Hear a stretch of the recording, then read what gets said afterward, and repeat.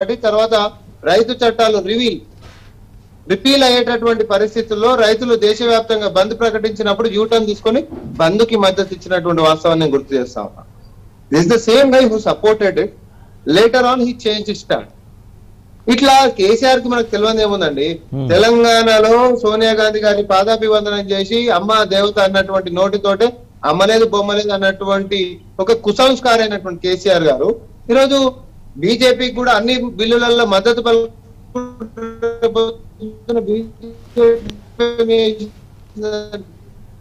అంటే హిస్ అన్ ఆపర్చునిస్ట్ అంటున్నారు కాంగ్రెస్ సాధ్యమయ్యేటటువంటి కాదు అసాధ్యమైనటువంటి పని. కాంగ్రెస్ లేకుండా భవిష్యత్తు ప్రతిపక్షం అనేది లేదు అనేటటువంటి వాస్తవం. ఈయన పోయినటువంటి ప్రతి నేత చెప్పినటువంటి అఫీషియల్ స్టేట్మెంట్ సాక్షి ఆయన శరద్ పవార్ కూడా కలిశారు. మీరు అది కూడా గమనించారు. శరద్ పవార్ కూడా కలిశారు ఆయన.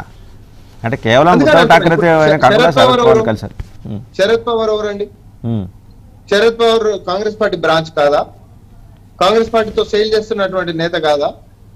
కాంగ్రెస్ పార్టీ గౌరవించుకోవడం అండ్ కాంగ్రెస్ పార్టీ ఇదే శరద్ పవార్ గారు official statement without Congress opposition is not possible అని అన్నటువంటి వాస్తవాన్ని వాస్తవం కాదా? మో కొత్తగా కేసీఆర్ గారు పోయి కలవంగానే ఎవరైనా ముఖ్యమంత్రి కలుస్తామంటే వద్దంటారా? ఉమ్, వ్యక్తిగతంగా కలుసుకుందామంటే వద్దంటారా? అండ్ ఇంకొకటి నేను నేను కాంగ్రెస్లో ఉన్నా. Hmm. కాంగ్రెస్కి వ్యతిరేకంగా ఒక పార్టీ ఉంది. ఆయన వ్యతిరేకం నాకు వ్యతిరేకమైనటువంటి పార్టీకి ఒక ప్రో స్లోగన్ ఒకటి ఇచ్చిండు అనుకోండి.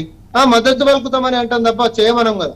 నేను సేల్ చేస్తున్నటువంటి పార్టీతో వ్యతిరేకంగా మాట్లాడితే అప్పుడు వస్తుంది కాన్ఫ్లిక్ట్ అంతే కదా వాసుదేవన్ గారు? రైట్ సో ఈ రోజు దేశవ్యాప్తంగా కూడా ఇంకోటి అన్ని ప్రాంతాలని ప్రాంతీయ పార్టీలు మొత్తం బలోపేతంగా ఉన్నాయి అని అంటే మళ్ళీ నేను ఇంకొక కొన్ని ఫ్యాక్ట్స్ నేను గుర్తు చేస్తా ఉన్నా. ఉమ్, సుమారు నాకు తెలిసి పార్లమెంట్లో ముప్పై ఆరు ముప్పై ఏడు పార్టీలు ఈరోజు రిప్రజెంటింగ్ దాంట్లో పదిహేను నుంచి హాఫ్ కంటే ఎక్కువ శాతం మన పార్టీలో ఒక్కొక్క సీటే ఉన్నాయి.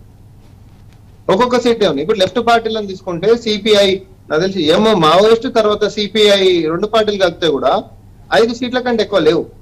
ఉమ్, సరే నేషనల్ పార్టీలు అయినప్పటికీ ఈ రోజు పరిస్థితి ఇట్లా ఉంటున్నటువంటి నేపథ్యంలో ఓన్లీ ప్రాంతీయ పార్టీలను మేము మమేకం చేసి కాంగ్రెస్ బీజేపీ ఏతర కూటమిని నేను ఒడిచి పట్టుకుంటా నేనే దాన్ని లీడ్ చేస్తాను అంటున్నటువంటి కేసీఆర్ గారు. అంటే ఆర్ యూ సస్పెక్టింగ్ ఆయన చేయలేరనా? ఆయన శక్తి సామర్థ్యాల మీద మీకు నమ్మకం లేదా? నేను ఈ భాష వాడొద్దు కానీ అసలు ఒకటి చెప్తా ఈజ్ అన్ ఆపర్చునిస్ట్ ఆయన చేసేటంత సినిమా ఆయనకు లేదు ఆయనకు అంత విలువ ఎవరు ఇవ్వట్లేదు. ఉమ్, అది మనం చూస్తూనే ఉన్నాం రీసెంట్ ఇంటరాక్షన్స్ తోటి. ఉమ్, ఏడికైనా పోయి వస్తే ఈయన ఆయన కరపత్రాల బొమ్మలలో ఇలా ఆఫీస్ ఇచ్చుకోవాల్సిందే తప్ప ఆయనకు అక్కడ అంత సినిమా లేనటువంటి అవసరం మీరే చెప్తారు కదా. ఉద్ధవ్ ఠాక్రే ఆఫీస్ ఏం మాట్లాడుతుంది అరే బీజేపీ అగేన్స్ట్ బీజేపీకి we are okay we are good KCR you do anything అంటుంది but when it comes to Congress without Congress it is not possible Congress is alternative అని అఫీషియల్ స్టేట్మెంట్ ఇస్తుంది కదా but what is your stand KCR both Congress and BJP there. Hmm. But when you met Shiv Sena, Shiv Sena is giving an official statement in favor of Congress. What is your stand? Just మన రాష్ట్రంలోకి వచ్చి వీడికి వచ్చి చూసిరా నేను ఇద్దరికి కలిపి మాట్లాడితే నన్ను ఉద్ధవ్ ఠాకరే బాగా తీసుకొని బాబాజీ తినిపించండి అని చెప్పినట్టుంది.